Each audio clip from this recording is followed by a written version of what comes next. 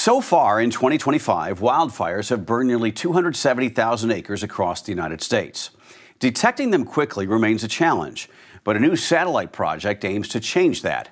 Backed by Google, the first FireSat satellite is now in orbit using infrared sensors and AI to track wildfires in near real time. It can detect even the smallest flames before they spread, giving firefighters a crucial advantage.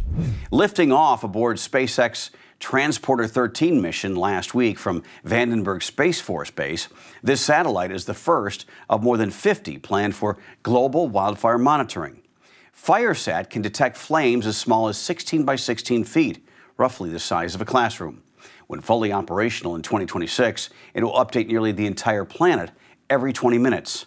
The initial phase includes three satellites which will revisit locations twice per day. Existing wildfire tracking methods have limitations. Low resolution satellite imagery and costly aerial surveys often delay emergency response. FireSat aims to close that gap by providing high resolution AI analyzed data to help authorities respond before fires escalate.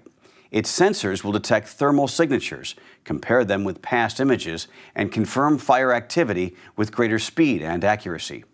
Beyond emergency response, FireSat will advance wildfire research.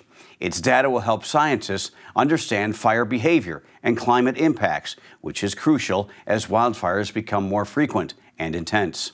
The project is a collaboration between Google Research, Muon Space, and the Earth Fire Alliance, a nonprofit funded by Google.org, the Moore Foundation, and other environmental groups. Google contributed $13 million through the AI Collaborative, Wildfires Initiative, and organization aimed at reducing the impact of wildfires using AI. More satellites will launch in the coming years, positioning FireSat to revolutionize how the world tracks and manages wildfires. For more unbiased updates, download the Straight Arrow News app or go to san.com.